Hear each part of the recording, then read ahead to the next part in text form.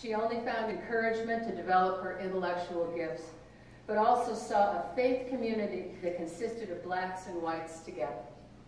That experience led the charismatic Thea to become a nun herself, and despite opposition, introduced African American culture, music, and spirituality into Catholic worship.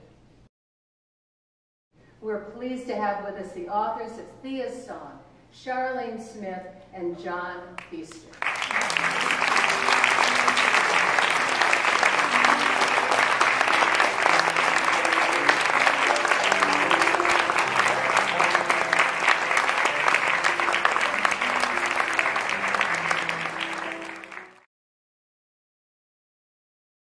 Thea had been a friend of mine when I worked in the deep south of the United States, and I had some interview materials tucked away in my basement, and Sister Charlene was her classmate way back in the convent.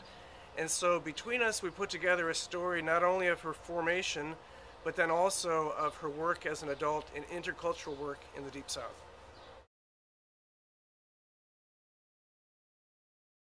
You know, at heart, Thea was an intercultural worker. Thea Bowman was a black Catholic sister and who really came to some prominence in the 1980s.